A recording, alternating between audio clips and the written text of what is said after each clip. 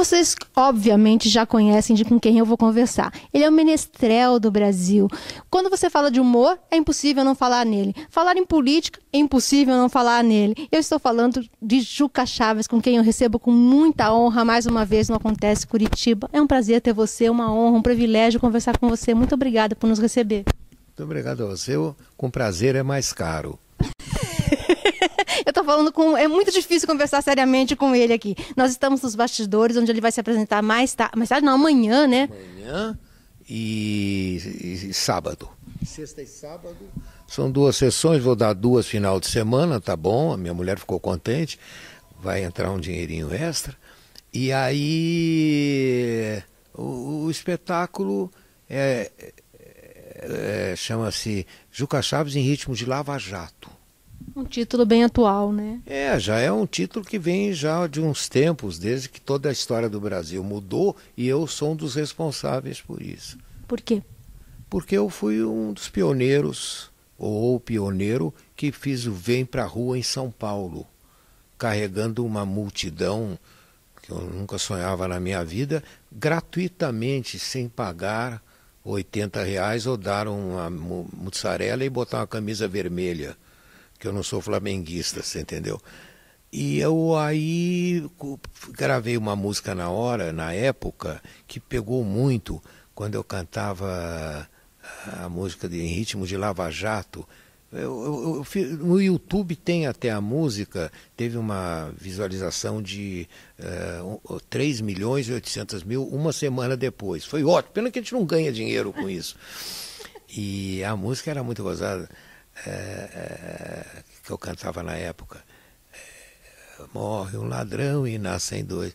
A honestidade há muito já sumiu, as consequências vêm sempre depois, por isso todo dia, para alegria do Brasil, morre um ladrão e nascem dois. Sai um político, entra outro na quadrilha, um uma, uma lambolete no serviço de moral, falta uma ordem na bandeira do progresso e a greve é greve na Polícia Federal, que por sinal está muito bem, muito mal, muito mal. E, e, aí eu fui fazendo as músicas todas do, do momento. Uh, agora as coisas mudaram para melhor e fiz até uma pequena homenagem pelo que ele merece, que é o Sérgio Moro Grande Sérgio Moro. É o nosso herói.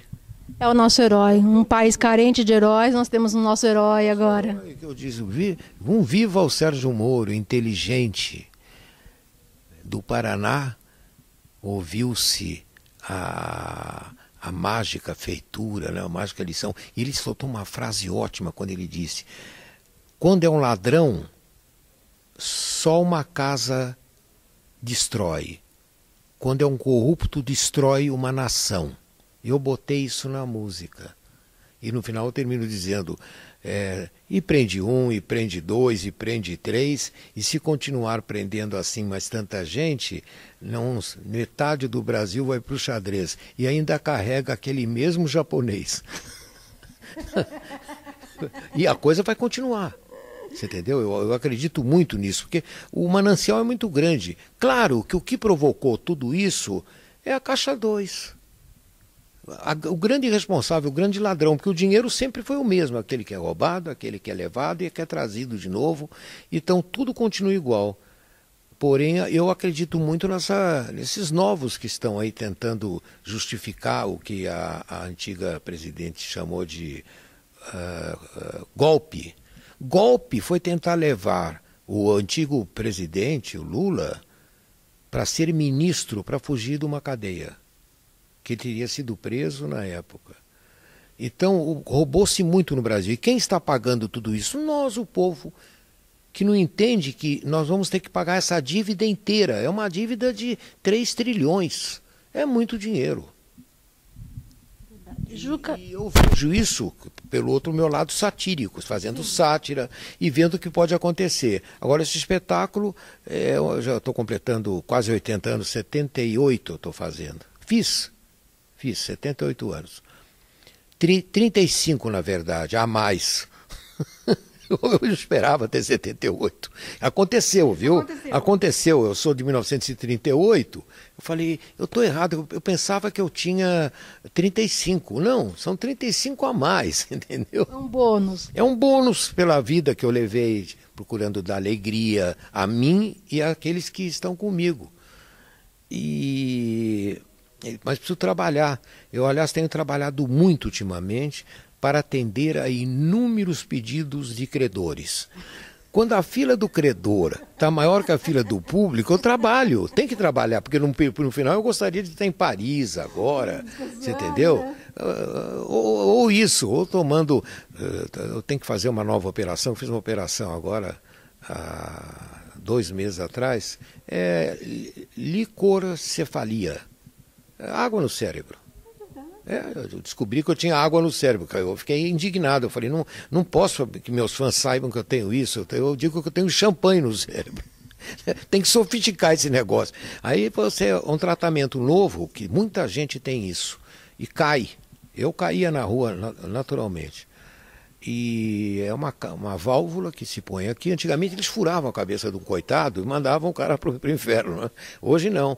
É uma válvula que suga a água, leva para o cucuruto, do cucuruto desce, está aqui, eu tenho a marca toda, vem por aqui, forma um canudinho, canudinho desce até aqui, vem para a barriga, até um guarda de trânsito aqui que fala para a esquerda, para a esquerda, aí ele vai para cá para o lado esquerdo, cai no rim e sai a água. Isso tudo sabe-se apenas há 10 anos. Antigamente o cara caía, todo mundo dizia assim, Ih, vovô tá louco, interna. Mas isso é, é por causa da idade ou qualquer idade? Não, em qualquer idade. Tem muita gente que tem isso jovem. Preciso ver, porque eu caio adoidado. Não, é, eu caía só. A única coisa é saber cair. Como eu faço judô há muitos anos, eu caía bem, mas um dia caí mal na rua. Caí, bati com a pé no joelho na, na calçada. Era uma calçada de São Paulo, portanto, uma péssima calçada, toda Sim. machucada a calçada. E e aconteceu. E aí eu operei no Albert Einstein. Hoje eu estou bem de novo, trabalhando. Tem que trabalhar muito. Eu quero, eu gosto de, de fazer isso. Eu não chamo bem trabalho, porque a arte está acima, é uma coisa mais subida, está acima do trabalho.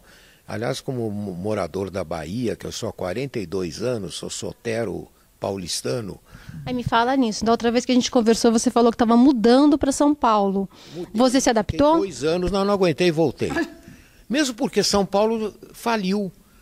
Tudo que tinha de bacana no Itaim, que era o Village de São Paulo, um bairro maravilhoso, hoje assim, vende-se, aluga-se, passa-se o ponto, vende-se, aluga, passa-se Itaim Bibi? o ponto. No Itaim Bibi. Eu morava lá. É, é, é o lugar mais gostoso de São Paulo. Eu estou com apartamento lá até hoje, eu quero vender ninguém tem dinheiro. Acabou o dinheiro, o Brasil está sem. Por quê? Porque roubaram tudo. O Brasil não entendeu ainda quanto foi roubado. Ele vai entender quando ele não vai ter dinheiro nem para pagar uh, o café da manhã. Aí ele vai entender. Isso a gente está entendendo vendo já dos outros, das pessoas mais carentes, das coisas que estão acontecendo. Que tomara que sobe um dinheirinho para assistir o Juca no teatro. Porque eu não sei fazer outra coisa. Eu sou a favor do teatro. E aqui para Paraná tenho um público muito gostoso, porque eu tenho muitos amigos aqui. Inclusive o maior advogado do Brasil, que é o René Dotti, que é quem ganhou uma causa uma vez para mim, que inclusive custou a saída de um governador por causa disso. Eles pegavam meu dinheiro na porta do teatro com ingresso e vendiam. Era bom, bonzinhos eles. Era formidáveis. Isso vem do tempo desde Lupion, no passado, do Paraná. Paraná é, é muito ligado com essas causas políticas. Eu venho para o Paraná desde o meu, o meu primeiro disco. Quando eu fiz, vim para cá e gravei. Foi meu terceiro show, foi numa rádio da, daqui de Curitiba. Nossa, que bacana. Olha quanto tempo faz isso. E, e teve algum presidente, assim, nas suas sátiras que te deu mais trabalho para fazer sátira? Muitos que nem conheci. Uma vez eu estava em São Paulo agora há pouco tempo, fui há pouco tempo, no tempo da, ainda da, da, da, do Exército, né? Eu fui chamado no DOPS em São Paulo porque eu tinha uma coruja. E o nome dela era Maria Gaspar Dutra. Era, aí perguntaram para mim por quê? Porque é a cara do Dutra, o ex-presidente Dutra. Aí eu fui chamado no DOPS. Eu fui meio com medo assim, temeroso. Quer, quer que vamos lhe buscar ou você vem com o seu carro? Eu vou com o meu carro, que é um Jaguar, de vocês não é. Então eu prefiro com o meu, claro. Aí, em lá, chegando, o capitão foi muito simpático, me recebeu com educação, que é o que o exército tinha e hoje não tem entre os políticos. E ele falou: Quem é Maria Gaspar Dutra? Eu falei: Minha coruja. Ele falou: Não, o senhor está faltando com a verdade. Eu quero saber por que e quem é Maria Gaspar Dutra para você. Eu falei, eu já falei, é minha coruja, até o retrato dela aqui, tem, tem foto no jornal, era toda carimbada, mas minha coruja. Era a cara do Dutra. Ela virava a cara assim, a coruja, ela dá uma volta de 180 graus a cabeça. E eu falei, não, não é, é, não é, não é. No final ele falou, então eu vou refrescar sua memória, senhor Juca. Maria Gaspar Dutra é a mãe do Marechal Dutra.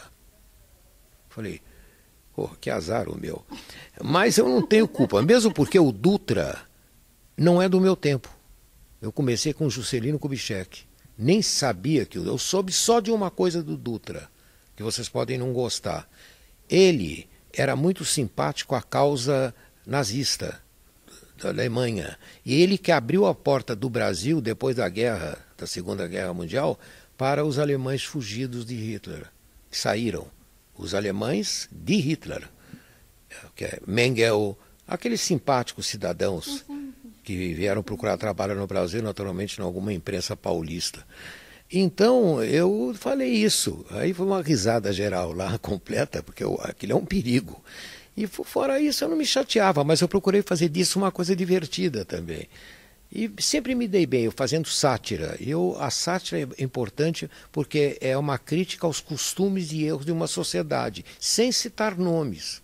Eu não preciso hoje pegar, dar um beijo para um presidente. Como mandar um beijo para a ex-presidenta para ganhar 1 milhão e 800 mil dólares. Sabe, eu não faço uma coisa dessa. Eu passo a necessidade, mas não, não me vendo. Nossa, não se vende. Infelizmente, os artistas encontraram formas melhores. Eu não faço isso. Eu gosto de teatro. É meu, meu mundo é o teatro.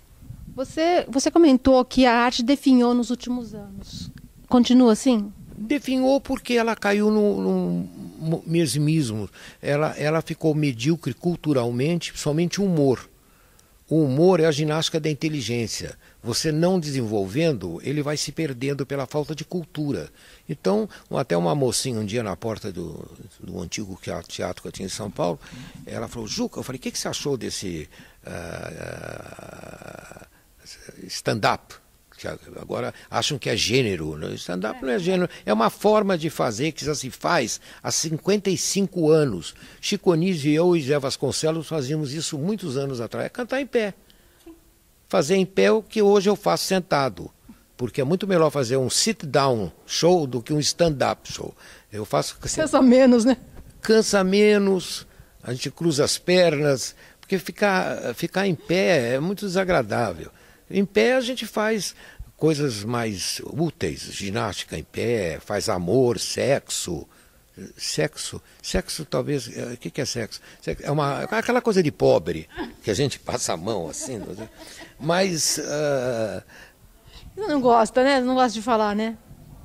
Para que falar de sexo? É coisa assim tão antiga, né? Ah, diz, Demodê. É, diz que os. Uh, uh, como é que chama? Passou até um filme sobre eles, o que tem o rabo, usam rabo. O... 50 tons de cinza? Não, aqueles, uh, aqueles seres do futuro que vão usar rabo, andam pulando nas árvores. Tal. Avatar? O Avatar. Eu, eu, quando fiz 78 anos agora, eu falei, meu Deus, eu vou ser um avatar. Só falta nascer rabo, porque nasce tudo na gente. Não é ótimo isso? É muito bom. É, mas é, é, eu vou procurar resolver melhorar esses 78 anos com mais humor. Quanto mais eu tiver, melhor você vive melhor. Até as operações ficam mais simples. E eu quero continuar vivendo e dar esse prazer à minha família de fazer rir. Hoje a minha filhinha até veio comigo, minha filha mais. Linda, por sinal. Linda, puxou o pai. Puxou o pai. Se é beleza é com o pai, se é talento é com a mãe. A gente inverte logo a coisa. Mas o, eu quero dar um prazer à família de conhecer melhor as coisas e eu viver bem, porque eu estou na Bahia morando no mar, como o Dorival Caymmi. Eu não tenho onde morar, é por isso que eu moro na areia. E eu estou morando em Maria há 42 anos, Nossa. que é o tempo que eu estou com a Yara. Minha... Dona Yarinha. Yarinha, 42 anos.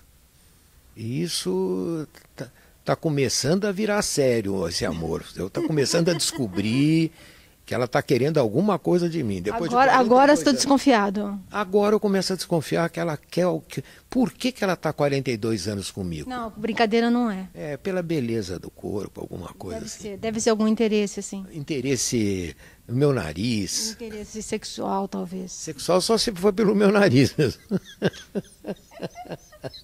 Não, mas vale a pena. Você, eu, a família, eu acho uma coisa muito importante. Eu sou um judeu antigo que penso nas coisas práticas da vida. E o casamento era o que me faltava. Tanto que quando eu casei, eu já estava com 36. Me lembro que o Chapelin me apresentou num programa do, de domingo, que eu casei no sábado, no Shabat. Ele me apresentou no programa de domingo e falou assim: casou-se ontem, assim como o seu programa de casamento, que chegou agora, o convite de casamento que foi ontem, que eu fiz com Juarez Machado. Né? É, casou-se o último playboy brasileiro. Era, eu era visto como o último playboy do Brasil. Nossa. Aí passei a faixa, agora está o Chiquinho Scarpa, né? Enterrando automóvel, com tanta coisa Enterrando automóvel. Enterra automóvel. Chico, enterra as ex-mulheres, mas não o automóvel. O automóvel desse você tem que ficar em cima da terra. E você já voltou a comer caviar ou está lá no acarajé sem camarão ainda? Ah, eu estou comendo acarajé sem caviar. Estou comendo acarajé vazio. o acarajé da Cira, né? Que é famoso. E eu não sou muito da, da comida baiana, porque ela é muito forte para mim.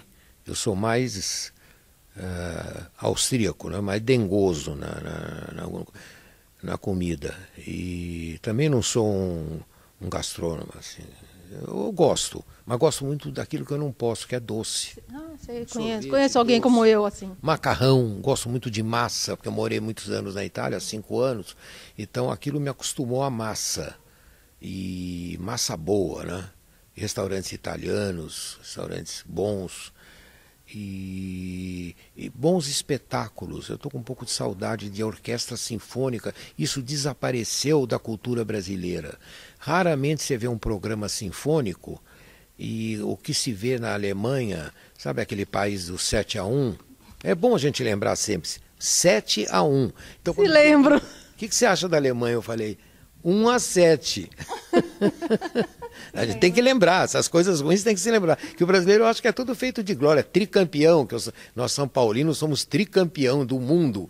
Mas não pode ficar lembrando isso. Tem que lembrar que também tivemos um sete a ruim no rabo, que isso, isso nos dói até hoje. Verdade. E a vida não pode ficar no 7 a 1 tem que melhorar. Você entendeu? Mas não no futebol só tem que melhorar. Na... Agora vieram as Olimpíadas, que foi muito gostoso de ver o atleta brasileiro que não ganha nada, que luta muito, ganhar tantas medalhas. Isso foi muito bonito para o Brasil. E eu, tanto que eu estou treinando para as Olimpíadas de 2026. Eu, eu ando 8 metros por dia para maratona. Eu já fiz o cálculo, quando chegar em 2026, no mês de agosto, eu vou, dois, eu vou estar entrando nas Olimpíadas, vai dar certinho. Já entro no, no estádio, ando mais os últimos oito metros e, e desmaio e caio. Porque o que aconteceu com aquele cara que chegou todo estrubicado e é mais famoso. Você sabe quem ganhou aquela Olimpíada? Ninguém. Todo mundo lembra do cara que chegou todo. Juca, olha, foi um prazer conversar com você novamente. Espero que você faça muito sucesso. Volte mais vezes a Curitiba. Pô, que Curitiba... Eu já estou aqui. Não, mas volte mais vezes. Volte mais vezes. Vou, Acontece tô Curitiba. para fazer, inclusive, de novo uma turnê por todo o Paraná. Até minha irmã mora também no norte do Paraná. E e ver as araucárias. Né? Eu gosto muito daqui. Só o inverno, quando é muito frio, eu tenho medo, porque cria aquele negocinho dentro da gente que a gente fala e fala. é, mas fora esse tempo, é uma delícia, porque eu, eu gosto do friozinho. E vivo na Bahia, é, né? que é um calor do cão, mas lá tem brisa. Aqui. E tá ótima a Bahia. O prefeitinho lá foi considerado o melhor prefeito do Brasil, o Neto. Legal, Era o Neto Antônio Carlos Magalhães. Todo mundo falava mal, uhum. foi o maior de todos. políticos da Bahia.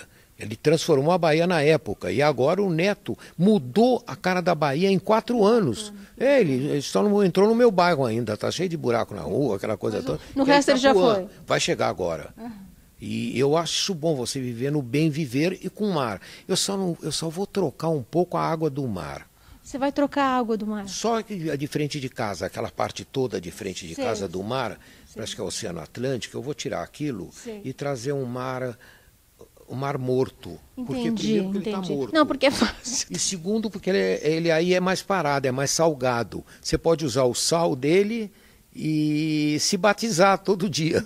É uma coisa tão simples também, né? Então deve ser. Eu não sei como é que o Neto não pensou complica. nisso. O pessoal complica porque quer. Você entendeu? Você vê que está todo mundo complicando tudo no Brasil agora. Eu, eu, pergunto sempre: eu posso resolver o problema do Brasil econômico? Eu, você quer saber? Claro. O, o professor é a figura mais importante de qualquer país civilizado. Sem dúvida. O, uh, o, o, professor, o político nada mais é do que um funcionário público a serviço do bem-estar social. Que tal trocarmos o que eles ganham? O professor passa a ganhar o que ganha um deputado e um deputado brasileiro o que ganha um professor. As coisas vão ficar melhor no país. Mesmo porque um, um, um político na Dinamarca, Suécia, Noruega, Áustria, ganham dois salários mínimos e meio. Estão contentes. E não tem ninguém trabalhando com eles. Ninguém. É proibido. Na, na Suécia, eles chegam a ter que fazer um curso de dois anos e meio para se candidatar. Nossa. E aí, em se candidatando, ainda tem que passar para poder ser candidato eleito, para poder governar com sabe, seriedade. É igual aqui, Não gente. chegar dizendo assim, eu tenho 80 funcionários trabalhando para ele. Ele é um cafetão.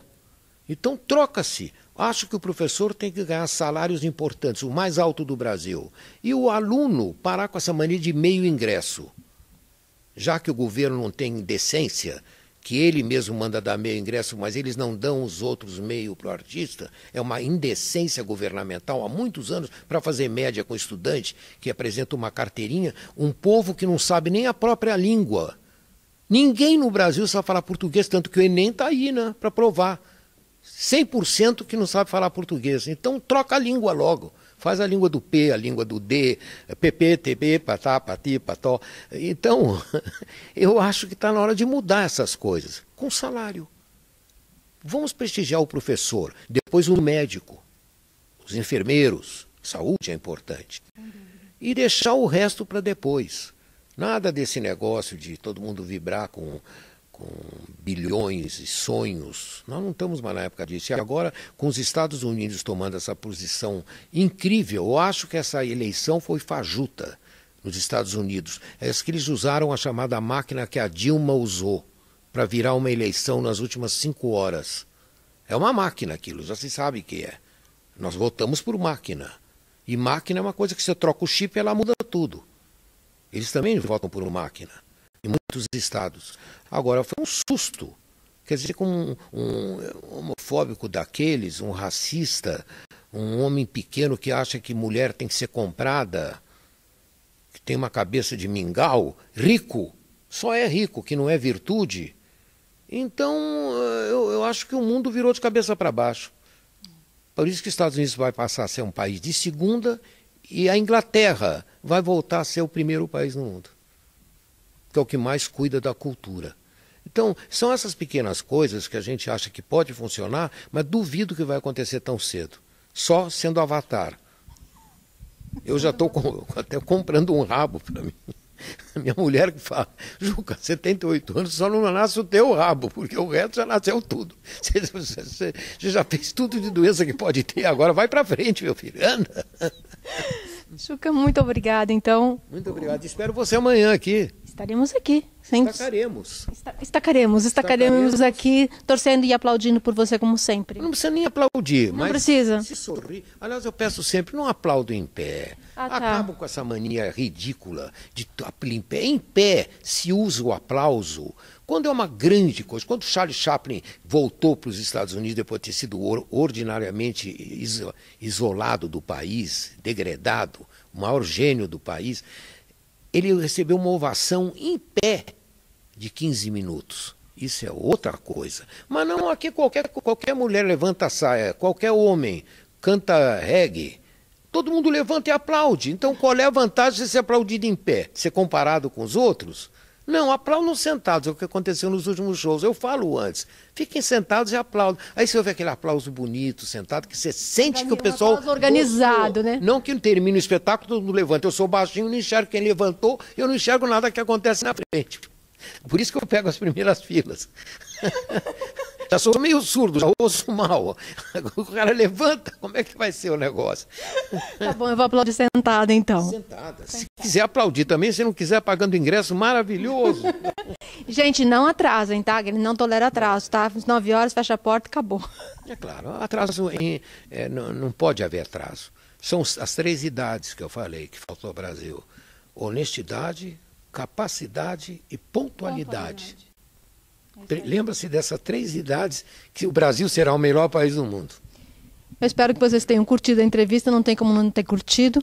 E, e eu espero vocês na próxima matéria. Um beijo grande, muito obrigada. Muito juízo, falei pouco, falei bem, não cuspi ninguém. Amém. Até a próxima, gente. Tchau, tchau.